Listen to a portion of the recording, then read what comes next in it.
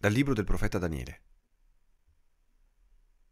In quei giorni abitava a Babilonia un uomo chiamato Joachim, il quale aveva sposato una donna chiamata Susanna, figlia di Chelchia, di rara bellezza e timorata di Dio. I suoi genitori, che erano giusti, avevano educato la figlia secondo la legge di Mosè. Joachim era molto ricco e possedeva un giardino vicino a casa ed essendo stimato più di ogni altro, i giudei andavano da lui. In quell'anno erano stati eletti giudici del popolo due anziani. Erano di quelli di cui il Signore ha detto, l'iniquità è uscita da Babilonia, per opera di anziani e di giudici, che solo in apparenza sono guide del popolo. Questi frequentavano la casa di Joachim, e tutti quelli che avevano qualche lite da risolvere si recavano da loro. Quando il popolo, verso il mezzogiorno, se ne andava, Susanna era solita recarsi a passeggiare nel giardino del marito. I due anziani, che ogni giorno la vedevano andare a passeggiare, furono presi da un'ardente passione per lei. Persero il lume della ragione, distolsero gli occhi per non vedere il cielo e non ricordare i giusti giudizi. Mentre aspettavano l'occasione favorevole, Susanna entrò, come al solito, con due sole ancelle, nel giardino per fare il bagno, poiché faceva caldo. Non c'era nessun altro al di fuori dei due anziani, nascosti a spiarla. Susanna disse alle ancelle, Portatemi l'unguento e i profumi, poi chiudete la porta, perché voglio fare il bagno. Appena partite le ancelle, i due anziani uscirono dal nascondiglio corsero da lei e le dissero Ecco, le porte del giardino sono chiuse. Nessuno ci vede e noi bruciamo di passione per te. Acconsenti e concediti a noi. In caso contrario, ti accuseremo. Diremo che un giovane era con te e perciò hai fatto uscire le ancelle.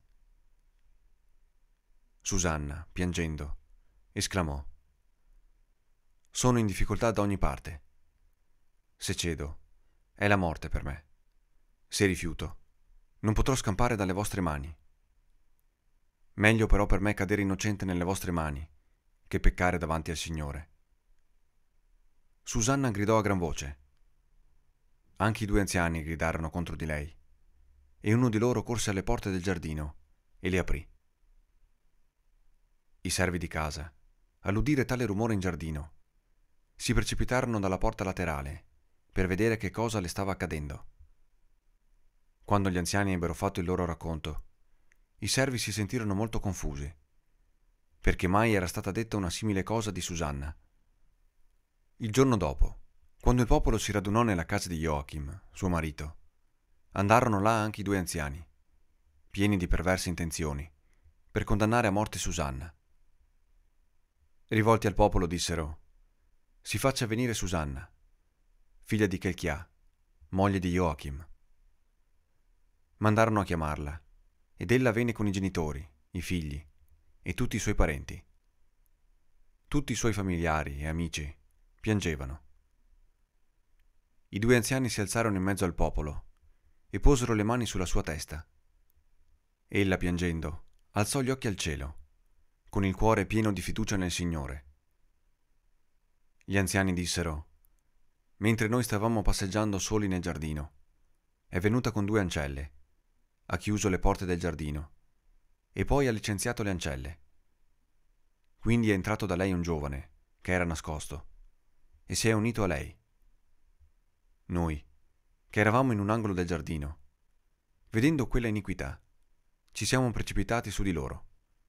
Li abbiamo sorpresi insieme, ma non abbiamo potuto prendere il giovane, perché più forte di noi ha aperto la porta ed è fuggito.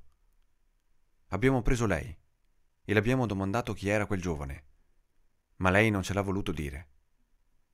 Di questo noi siamo testimoni. La moltitudine prestò loro fede, poiché erano anziani e giudici del popolo, e la condannò a morte. Allora Susanna ad alta voce esclamò, Dio eterno, che conosci i segreti, che conosci le cose prima che accadano. Tu lo sai che hanno deposto il falso contro di me. io muoio innocente di quanto essi iniquamente hanno tramato contro di me. E il Signore ascoltò la sua voce. Mentre Susanna era condotta a morte, il Signore suscitò il Santo Spirito di un giovanetto, chiamato Daniele, il quale si mise a gridare, Io sono innocente del sangue di lei. Tutti si voltarono verso di lui dicendo, Che cosa vuoi dire con queste parole? Allora Daniele, stando in mezzo a loro, disse, Siete così stolti, o figli di Israele? Avete condannato a morte una figlia di Israele, senza indagare né appurare la verità. Tornate al tribunale, perché costoro hanno deposto il falso contro di lei. Il popolo tornò subito indietro, e gli anziani dissero a Daniele, Vieni, siedi in mezzo a noi e facci da maestro, poiché Dio ti ha concesso le prerogative dell'anzianità. Daniele esclamò, Separateli bene l'uno dall'altro, e io li giudicherò. Separati che furono, Daniele disse al primo, O uomo invecchiato nel male, ecco, i tuoi peccati commessi in passato vengono alla luce, quando davi sentenze ingiuste, opprimendo gli innocenti e assolvendo i malvagi. Mentre il Signore ha detto, non ucciderai il giusto e l'innocente. Ora dunque, se tu hai visto costei, di, sotto quale albero tu li hai visti stare insieme? Rispose, sotto un lentisco. Disse Daniele, in verità, la tua menzogna ti ricadrà sulla testa. Già l'angelo di Dio ha ricevuto da Dio la sentenza e ti squarcerà in due. Allontanato questi, fece venire l'altro e gli disse, Stirpe di Canaan e non di Giuda, la bellezza ti ha sedotto, la passione ti ha pervertito il cuore. Così facevate con le donne di Israele, ed esse per paura si univano a voi. Ma una figlia di Giuda non ha potuto sopportare la vostra iniquità. Dimmi dunque, sotto quale albero li hai sorpresi insieme? Rispose, sotto un leccio. Disse Daniele, in verità, anche la tua menzogna ti ricadrà sulla testa. Ecco, l'angelo di Dio ti aspetta con la spada in mano, per tagliarti in due e così farti morire. Allora tutta l'assemblea proruppe in grida di gioia e benedisse Dio, che salva coloro che sperano in lui. Poi, insorgendo contro i due anziani, ai quali Daniele aveva fatto confessare, con la loro bocca, di avere deposto il falso, fece loro subire la medesima pena che avevano tramato contro il prossimo, e applicando la legge di Mosè, li fece morire. In quel giorno fu salvato il sangue innocente.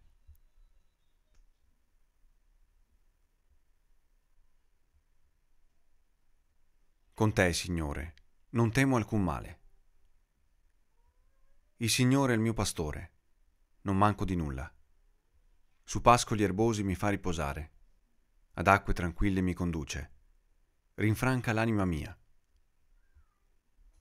Con te, Signore, non temo alcun male. Mi guida per il giusto cammino, a motivo del suo nome. Anche se vado per una valle oscura, non temo alcun male, perché tu sei con me. Il tuo bastone e il tuo vincastro mi danno sicurezza. Con te, Signore, non temo alcun male. Davanti a me tu prepari una mensa, sotto gli occhi dei miei nemici. Ungi di olio il mio capo, il mio calice trabocca.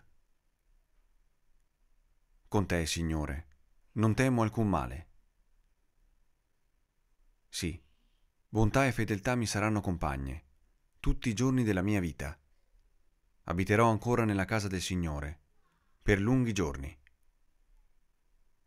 Con te, Signore, non temo alcun male.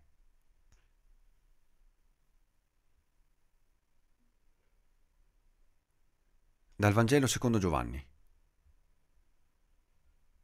In quel tempo, Gesù parlò ai farisei e disse, Io sono la luce del mondo.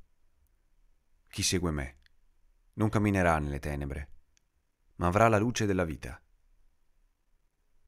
Gli dissero allora i farisei, Tu dai testimonianza di te stesso, la tua testimonianza non è vera.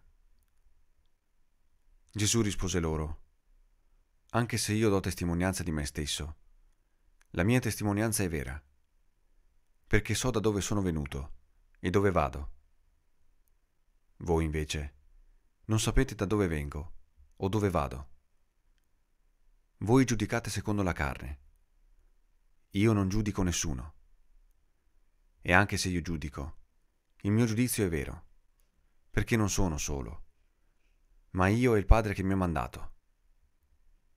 E nella vostra legge sta scritto che la testimonianza di due persone è vera. Sono io che do testimonianza di me stesso, e anche il Padre, che mi ha mandato, dà testimonianza di me. Gli dissero allora, Dov'è tuo Padre? Rispose Gesù, Voi non conoscete né me né il Padre mio. Se conosceste me, conoscereste anche il Padre mio. Gesù pronunziò queste parole nel luogo del tesoro, mentre insegnava nel Tempio.